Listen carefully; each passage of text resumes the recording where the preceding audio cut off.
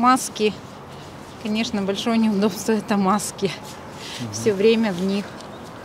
А так-то, так-то в принципе ничего. Только ограничений больше стало.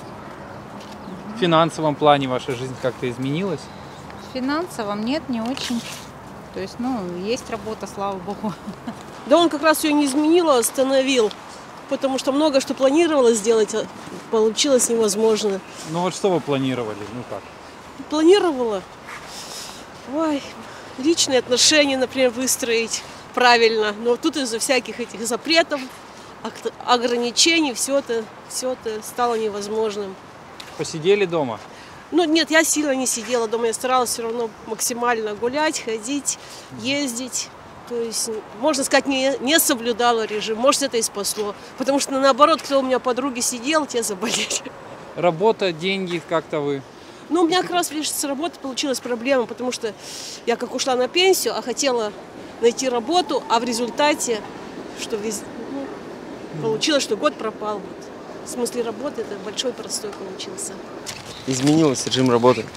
В лучшую сторону. На удаленку? Да, И это вы оцениваете позитивно? ну, конечно. Чем мне постоянно ходить, например, или ездить на работу, когда я могу дома всю работу сделать и все, спокойно отдыхать. уменьшились доходы, а, сократился рабочий день до 6 часов, А раньше сколько было? 8. А, Стали меньше ходить э, в какие-то развлекательные заведения, там, не знаю, театры, выставки, кинотеатры, дискотеки. А, Меньше ходить в гости, собираться большими компаниями, куда-то выезжать. Вообще у нас палочка-выручалочка, как у меня сад.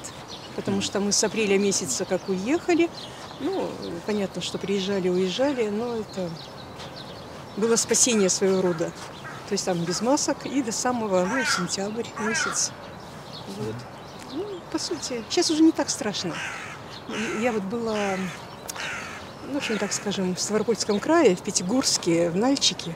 Там вообще маски почти не носят. И как-то и не страшно там. Ну, с маской поначалу было сложно.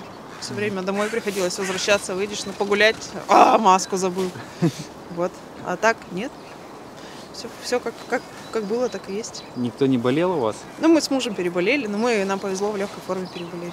Ну и слава богу. Да, у нас только не было обоняния. Это очень грустно. С утра, когда встаешь пить кофе, а оно никакое, просто вода. Да, Мы, например, потеряли путешествие. Мы очень любим ездить в Петербург. У нас были забронированы. Да, пропала Отель у нас поездка и в билеты. Петербург. Вот. Ну, а так А что? в основном стали как-то вот больше ходить, Как гулять, да. Ездить меньше, ходить больше? Да, да, совершенно да. верно. Потому Вот что си- сидишь дома и В общем, мы приспособились, несмотря ни на что. Хотя ну, лучше очень бы жаль. это закончилось. А образ жизни сегодняшний вас? А мы вот пенсионеры. Как-то сильно поменялся?